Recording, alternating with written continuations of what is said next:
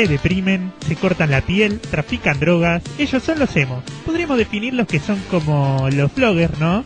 Pero más sucios. ¿Y por qué se cortan, chicos? Y mira, yo empecé así un día porque mi vieja me mandó al supermercado y no tenía para anotar, ¿no? Entonces, qué sé yo, me lo anoté en la piel. Mira, acá tenés tomate, lechuga, un kilo de papa. Sí, yo empecé cortando los próceres de la revista Tujito.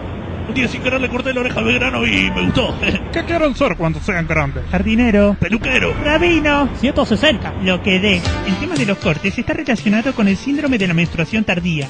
Claro, como no sangran por causas naturales, buscan hacerlo por intermedio de cortes. ¿Que a ustedes le vino la menstruación? Y la verdad que no, pero me pongo los tapones usados de mi vieja, así parece que sí. Eh, yo ya menstruo. Aunque el doctor me dice que le diga de otra forma. ¿Cómo? Hemorroides.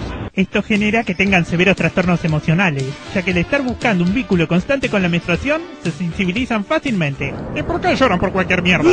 Ay, sí, yo lloré con Liberen a Willy. Y yo cuando mataron a Kennedy. Pero vos no habías nacido. ¿Cómo que no? ¿De quién hablas? El de South Park. Yo lloré con la lista de Schindler. De alegría, ¿no? Claro. A mi consultorio vienen muchos chicos con esta enfermedad, pero yo digo a los padres que no se asusten. Que a diferencia del cáncer y la lepra, el hemo tiene cura.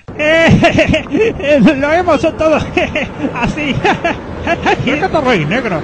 no sé, estoy repasado de merca. Todo mal con lo hemo, loco. Te chupa la pija con el arito a la lengua, se te engancha en el prepucio y ya se hace judío. Yo pienso que todos en esta sociedad deberíamos empezar a abrir más los ojos, porque mientras los medios de comunicaciones están hablando de los emos y los vloggers, en Argentina todavía no hay cámara de gas.